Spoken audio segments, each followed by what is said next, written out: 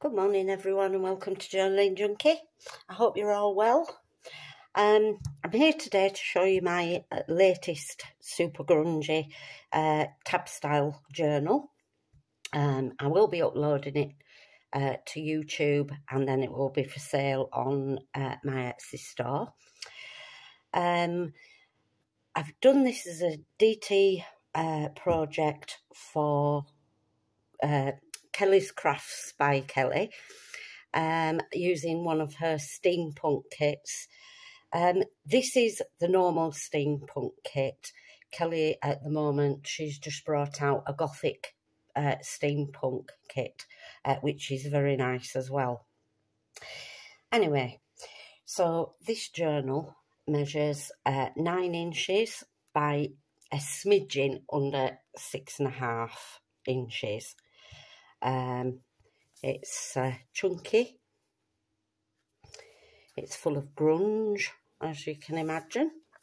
Uh, this time, I've actually covered the uh, the signatures, the sides of them, uh, with this um, ticking fabric, just to make it a little bit different to the others. Um, I, I do try to make them all different. Um, Anyway, you'll see as I go through. So I'll start off. Here we've got a Tim Holtz. Um, it's like an enamel number, for want of a better word. Um, I've added some metal cogs on the front there. A little bit of uh, vintage lace, which I've coffee dyed. And lots of layering on there, different papers. Um, I don't know if you can pick it up here, uh, but there's some um, gold uh, wax on there. And I've added some to these little metal brads as well. Okay. So there's also a little tag that just slots into there. Okay, so again, it fastens with the buckle style. Last time I did a wrap round one, uh, but I've gone back to the uh, original style that I did. So we'll get straight on. Again, I'll put play some music and uh, I'll get to you at the end of the video. Okay, see you soon.